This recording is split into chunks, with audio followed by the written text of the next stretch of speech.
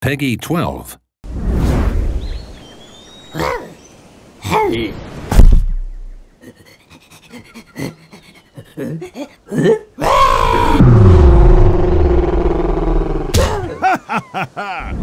See you later, alligator!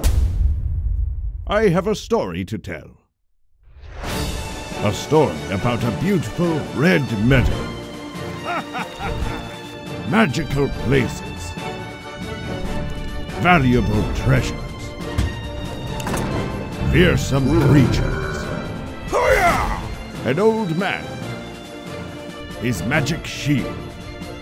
And of course, an evil witch.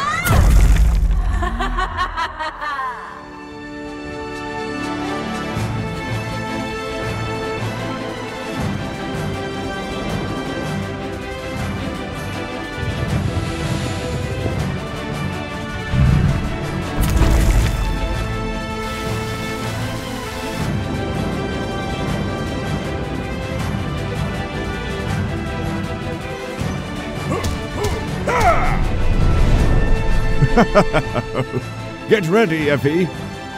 The story is about to begin.